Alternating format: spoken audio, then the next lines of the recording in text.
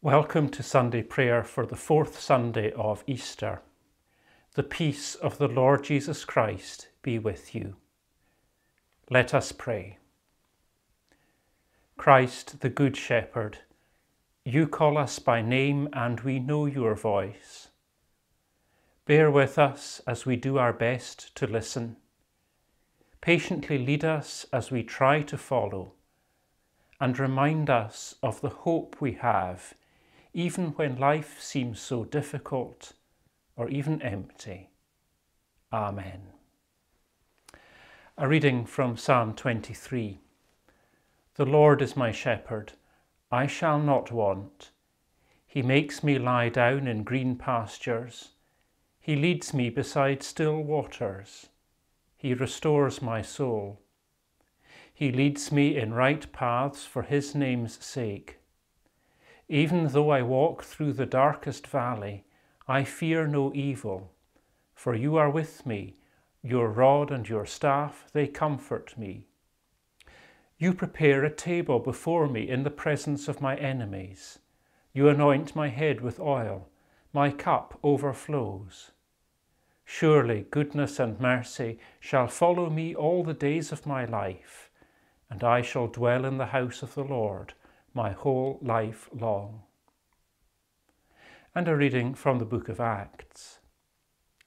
They devoted themselves to the apostles' teaching and fellowship, to the breaking of bread and the prayers. Awe came upon everyone because many signs and wonders were being done by the apostles. All who believed were together and had all things in common. They would sell their possessions and goods and distribute the proceeds to all as any had need. Day by day, as they spent much time together in the temple, they broke bread at home and ate their food with glad and generous hearts, praising God and having the goodwill of all the people. And day by day, the Lord added to their number those who were being saved. Amen. Thanks be to God. What's in a preposition? Quite a lot. These little words, so common in everyday language, have huge power to determine the meaning of what we say, and changing a preposition can make a big difference. As I read Psalm 23, I wonder if you noticed an unexpected preposition. When we sing, The Lord's my shepherd, we sing, Yea, though I walk in death's dark vale.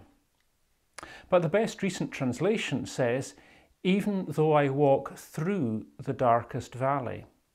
In becomes through. And what a difference that makes.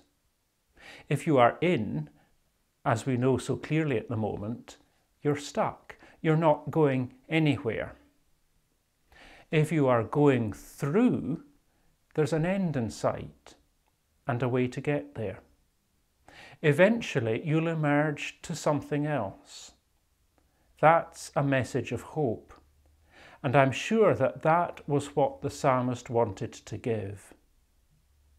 No matter what we're in, we're going through it. It's not forever. It will change. And all the time we are going through, we are accompanied by God who is with us. If you've been following the series on Acts in daily prayers, you'll already have heard that passage from Acts about the disciples holding all things in common. And you'll have already heard how quite rapidly things began to go wrong. In some ways, they were trying to do then what we are trying to do now. And it looks like they were experiencing similar emotions. A friend introduced me to a new word last week, corona coaster, the ups and downs of your mood during the pandemic. Just as we are experiencing ups and downs, so did the disciples. Going back to Easter and before, We can see foreboding, terror, grief, numbness, and shock. Right after the resurrection, there was incomprehension and amazement, more fear, and then a time when life seemed to go back to normal. Those who went back to fishing in Galilee probably felt they were out of danger. The authorities didn't seem to be after them. So they got a bit more bold. They spoke up. Euphoria kicked in. This was great. Hundreds, thousands even were flocking to them. There was the excitement of learning to live in new ways, of being part of a new community, of worshipping in new ways. But fairly quickly, cracks began to develop. They were no longer all of one mind. Having all things in common got too difficult.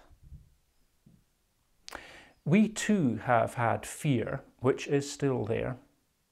We too have had to learn to live our lives in very different ways, very quickly, from shopping to creating community online, even to worship.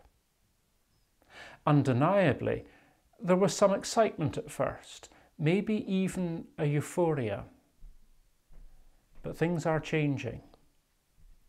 The longer it goes on, the more difficult it is getting. Any little gains are being far outweighed by all the many losses. Little irritations are ballooning out of proportion. Patience is wearing thin. Self-discipline is slipping. People who are trying to work at home for the first time, teach their own children, look after elderly relatives, support their communities, find new jobs if they've been made redundant, completely change their businesses to meet radically changed demands, rely on benefits if they are out of work, or work all the hours there are to meet increased demands. All these people are getting exhausted. In truth, the weight of isolation is tiring to us all. The point is as we've seen the early church going through an emotional process, what we are doing is going through an emotional process. In any process, things do not stay the same.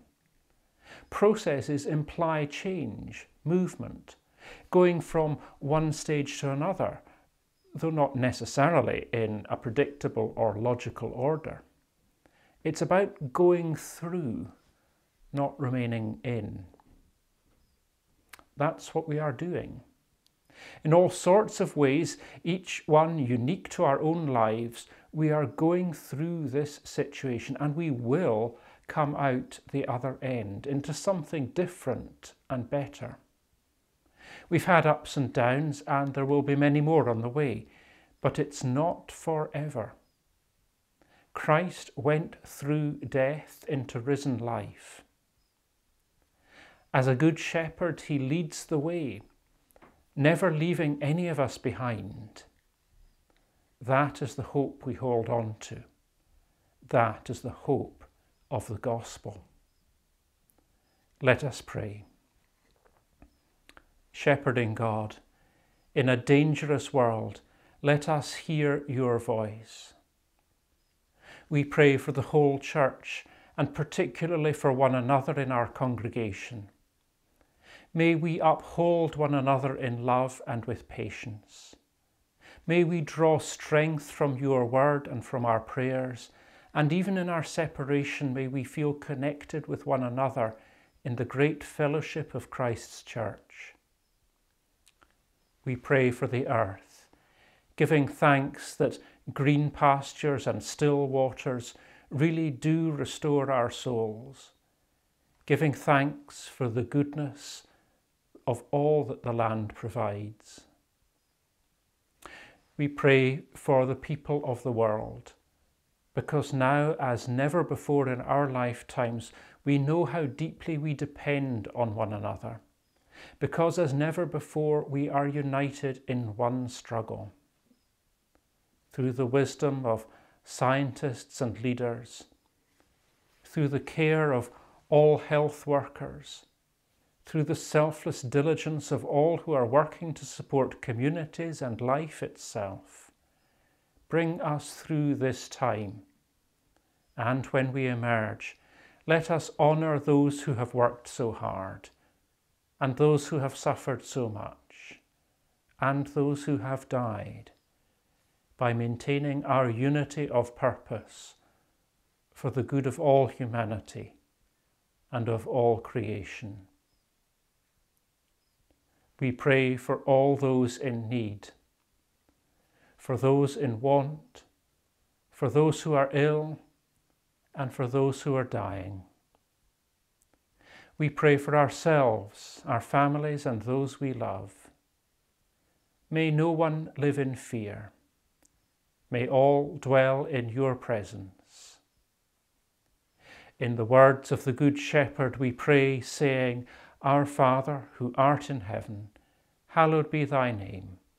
Thy kingdom come, thy will be done on earth as it is in heaven. Give us this day our daily bread, and forgive us our debts as we forgive our debtors. And lead us not into temptation, but deliver us from evil. For thine is the kingdom, the power, and the glory for ever. Amen and the blessing of God, Creator, Christ, and Holy Spirit be upon you all, this day and forevermore. Amen.